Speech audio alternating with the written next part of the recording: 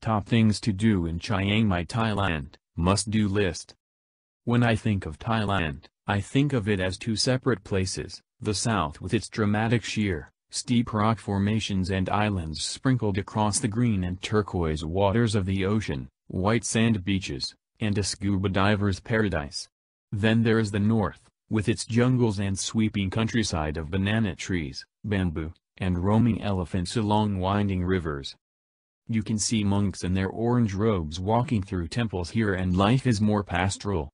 There are so many adventures to be had here, which is why I love Thailand.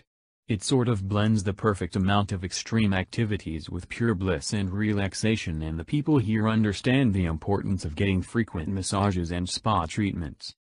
Every time I come here, a part of me feels like home and I don't know if it's because of the hospitality, food, smells, culture, and spirituality here, but for an adventure junkie like myself, you literally have it all in this tiny country. Here are my top adventures to do in the north of Thailand. 1. Experience a traditional Thai homestay. The latest rage in travel is private homes turned hotels. No, not Airbnb. This is a whole other caliber, fully vetted exquisite private homes that give you the run of the place along with top-notch hotel-style services.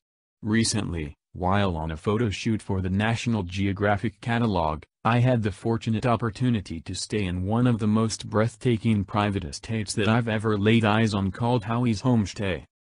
Don't be fooled by the quirky name, this hidden gem is a majestic boutique hotel that guarantees a secluded stay in an unbelievable setting, adorned with lush tropical gardens, views of the Himalayan foothills, a huge infinity-edge swimming pool, and tranquil water features.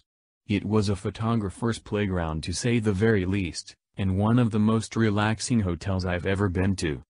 Howie's homestay itself is a tribute to the dying art of craftsmanship that Thailand and Chiang Mai especially was known for.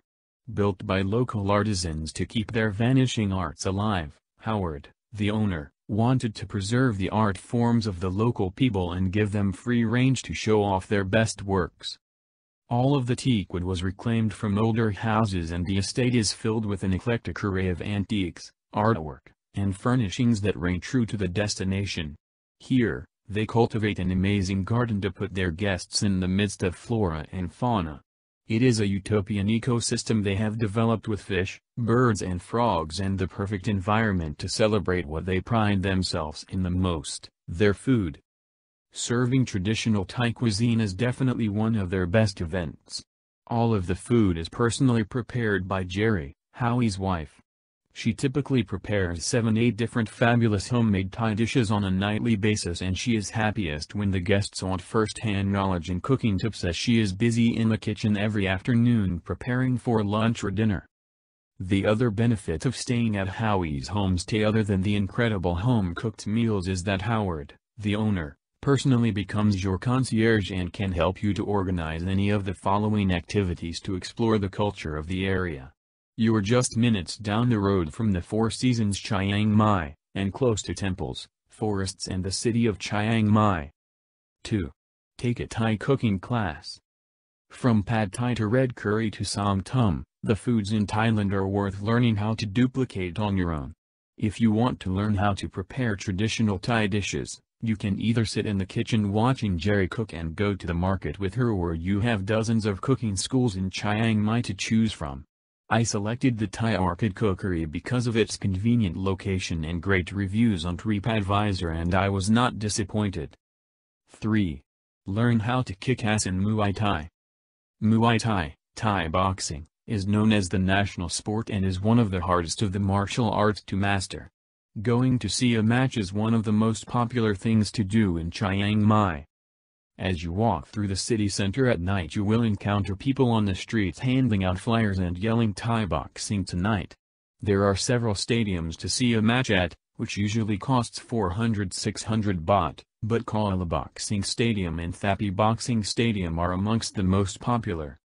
I personally enjoy being in the ring myself instead of a spectator so I opted to have S local legend Muay Thai fighter to come to my homestay and give me a private kickboxing session and holy crap was I not prepared for how hard it was.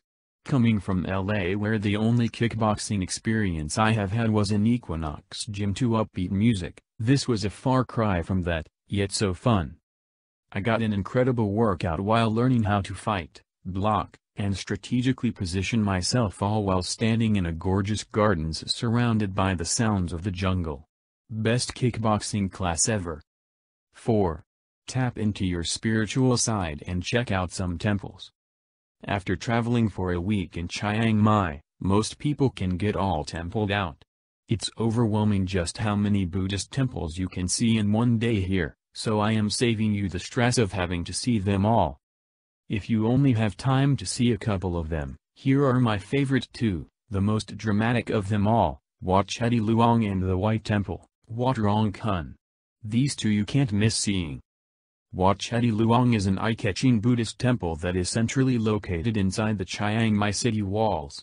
It is worthy of your bucket list to explore its large vihar, sermon hall, Naga dragons at its doorstep and the ruined brick chedi that sits behind the grand,